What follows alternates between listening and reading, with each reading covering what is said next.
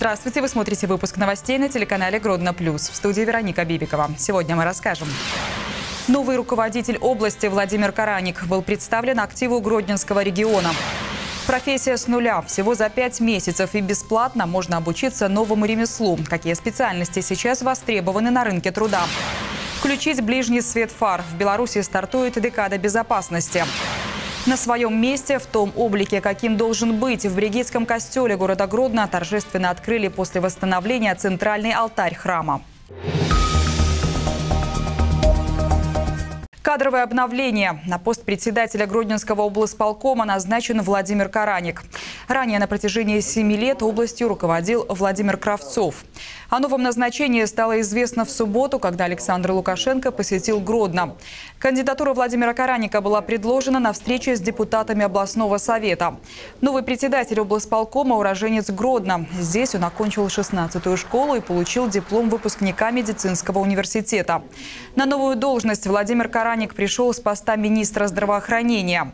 До получения министерского портфеля он работал в РНПЦ онкологии и медицинской радиологии. Также он был главным онкологом Минска. В понедельник стало известно, что теперь обязанности министра здравоохранения исполняет Дмитрий Пеневич, занимавший в ведомстве должность первого заместителя министра. Уже в понедельник новый председатель Гродненского облсполкома был представлен активу региона. За последние годы в Гродненской области реализовано очень много масштабных проектов. Это и дорожная инфраструктура, и у нее есть все шансы стать флагманом нашей энергетики белорусской. А, соответственно, идет модернизация многих крупных предприятий, их больше 200. Поэтому на сегодняшний момент главное не потерять темп. Я планирую в ближайшее время а, выбрать, ну, в ближайшие две недели, 10 наиболее крупных а, плательщиков налогов в областной республиканский бюджет и объехать их в первую очередь для того, чтобы выяснить, какие перспективы перспективы развития и какая нужна помощь для того, чтобы эти перспективы стали более быстрыми и более масштабными. 22 августа в субботу на площади Ленина гродненцы и гости города собрались на митинг в поддержку мира и спокойствия в стране.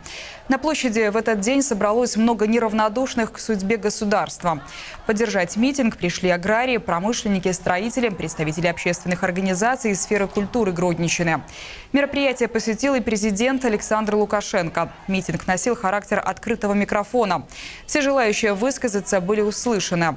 Мы пообщались с самими гостями митинга и узнали их мнение касательно происходящих событий в стране и того, почему они решили в этот день прийти на площадь Ленина. За нашу Беларусь, за, за безнасилие в семьях, за наш мир, за нашу дружбу. Пускай у нас в Беларуси всегда будет всегда успех, дружба, любовь и взаимопонимание. Мы собрались, чтобы защитить наше будущее, наших детей, нашу мирную, любимую, красивую, достойную страну, нашу Беларусь. Сейчас есть такое модное понятие э, лукашисты. Мы не лукашисты, мы находимся все в одной лодке. Мы тоже за перемены, но мы за правильные перемены, мы за свободу, мы за спокойные улицы, которые были раньше. Единомыслие всего народа, который здесь собрался, э, чтобы сохранить ту Беларусь, тот город Гродно, который мы созидали, который мы строили и который мы очень любим. Ведь Гродно, наверное, в сердце у каждого человека, несмотря на взгляды.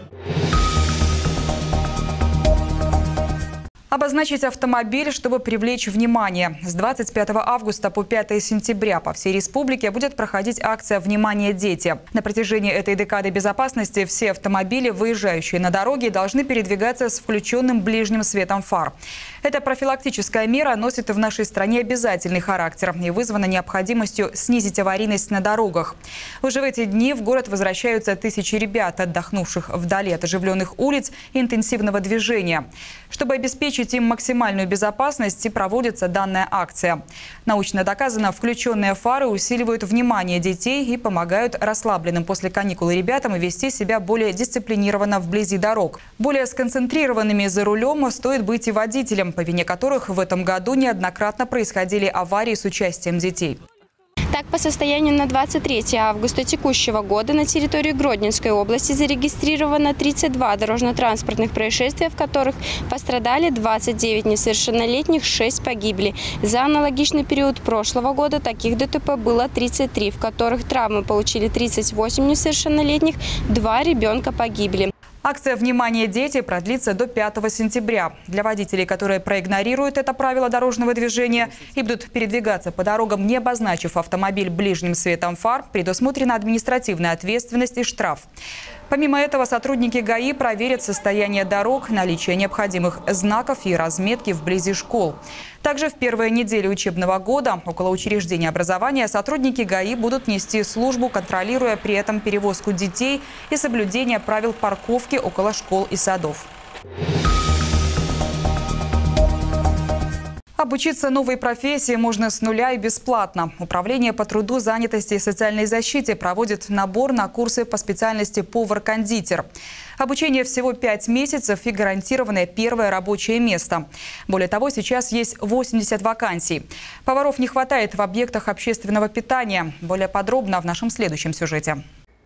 Карине Карасевич всего 20. Она отучилась в колледже на швею, но с первых рабочих дней поняла, что не лежит душа к этой профессии. Изменить деятельность никогда не поздно, подумала девушка и пошла на курсы учиться на повара. Пять месяцев теории и практики, и вот она повар третьего разряда в детском саду. Приготовить завтрак, обед и ужин на 250 детей – задача непростая, но Карина уже привыкла к графику в том числе. Наверное, самое сложное это, наверное, влиться в коллектив с 6 утра, например, до 2.30, с 7 до 15.30, э, с 8.30 до 5 вечера. Получить профессиональную подготовку через службу занятости может каждый, причем бесплатно. Занятия проходят в техническом колледже. В прошлом году здесь открылся ресурсный центр по специальности общественное питание. Здесь обучаются на повара-кондитера два зала с современным оборудованием. Многофункциональные плиты, сковороды, шкафы с функцией ночной готовки, охлаждающие столы для приготовления пиццы и многое другое. В одном месте учащиеся всего за пять месяцев могут освоить работу на самом разном оборудовании. Открывая этот ресурсный центр, мы э, советовались с экспертами, со специалистами. Поэтому здесь у нас перспективное оборудование, которое еще будет актуально э, несколько лет вперед. Обучаясь на таком оборудовании, наши учащиеся, они более адаптируются к реальному сектору экономики. Они быстрее э, находят себя именно на рабочих местах и не боятся этого оборудования. Могу сказать, что даже не все единицы такого оборудования есть на всех предприятиях. В будущем учебном году в Гродненском ресурсном центре будут обучаться будущие повара-кондитеры из профильных учреждений образования Витебской области. В прошлом году от Центра занятости на обучение было направлено 182 человека, в этом 75. Сейчас идет набор в группу, которая начнет заниматься в сентябре. Сегодня повар – одна из самых востребованных профессий. Есть порядка 80 вакансий. Специалисты нужны во многих заведениях общественного питания, но больше всего нехватку поваров чувствуют в комбинате школьного питания. В период обучения, с первого дня обучения выплачивается стипендия. После окончания выдаются свидетельства государственного образца с присвоением квалификации и третьего разряда. И э, наши учащиеся могут быть уверены в том, что им гарантировано первое рабочее место. Освоить профессию или повысить квалификацию бесплатно и за короткий промежуток времени в Центре занятости предлагают и мамам в декрете, которые до рождения детей нигде не работали. Конечно, потом и они могут рассчитывать на гарантированное трудоустройство. Карина Карасевич сейчас точно понимает, что именно поваром она и хочет быть. Девушка с большим потенциалом и амбициями мечтает готовить изысканные блюда в хорошем ресторане. И ни за что уже не предаст свое желание. Яна Мельниченко, Виталий Рубанов, Новости Гродно Плюс. На Гродничне проживает существенный процент людей, исповедующих католическую веру, что обусловлено исторически. Очень много костелов, в том числе достаточно древних, расположены по всей области. Среди них одним из самых старых является Бригитский костел, располагающийся в историческом центре Гродно. Он был основан в 1636 году, построен в 1642. И с этого момента началась работа по возведению главного алтаря храма. Долгие годы он украшал костел. На нем изображен один из ключевых моментов Нового Завета – Благовещение.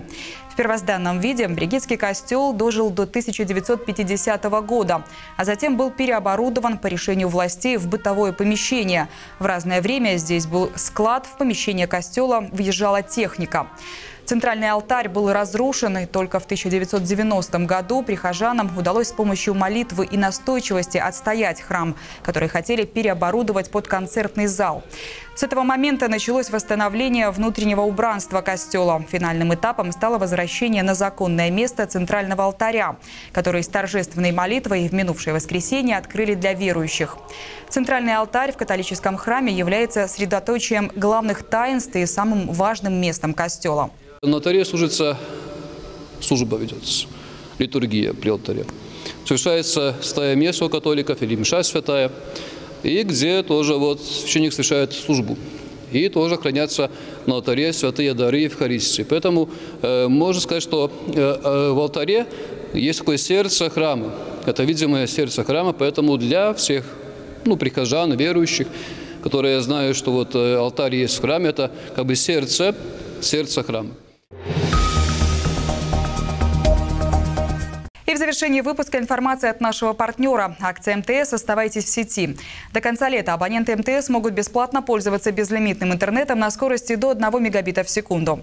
Чтобы воспользоваться предложением, нужно использовать USSD-запрос «Звездочка 584 решетка». Бесплатная услуга безлимит интернета до 1 мегабита в секунду действует по 31 августа включительно. Подробности на сайте mts.by. На этом выпуск завершен. Еще больше новостей вы найдете на нашем сайте mgrodnoplus.tv.by. А я прощаюсь с вами. Приятного отдыха на Гродно Плюс.